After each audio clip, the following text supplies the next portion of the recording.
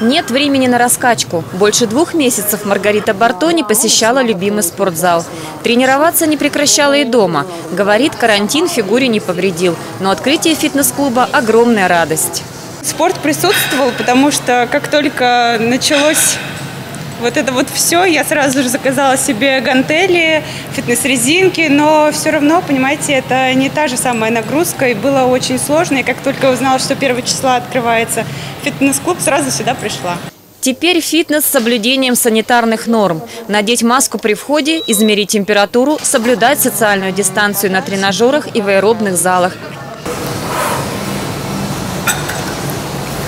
После каждой тренировки рекомендуется протирать тренажер специальными дезинфицирующими салфетками.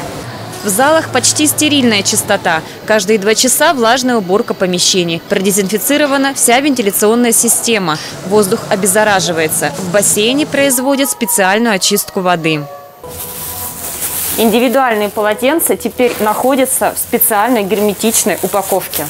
К сотрудникам фитнес-клуба особые требования. Тест на коронавирус обязателен для всех. Следить за рельефом тела клиентов сейчас не главное. В приоритете – здоровье. Весь карантин команда тренеров поддерживала своих посетителей онлайн.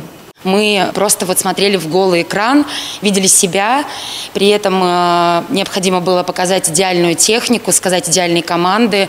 Мы не могли никого поправить, и э, приходилось э, каким-то образом еще больше требовать вот эту связь с ними через экраны.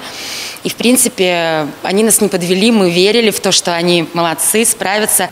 Ольга работает тренером около восьми лет. В таком онлайн-режиме побывала впервые. Каждый день записывала тренировки, была на связи 24 часа в сутки. Говорит, в период изоляции спортивная поддержка была необходима всем. Слова благодарности после открытия это подтверждают.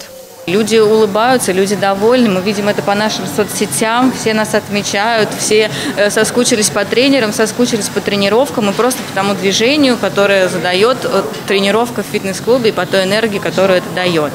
С соблюдением норм работают детский центр и бассейн. Сотрудники фитнес-клубов уверены, если санитарные правила будут поддерживать и сотрудники, и посетители, расставаться со спортом больше не придется.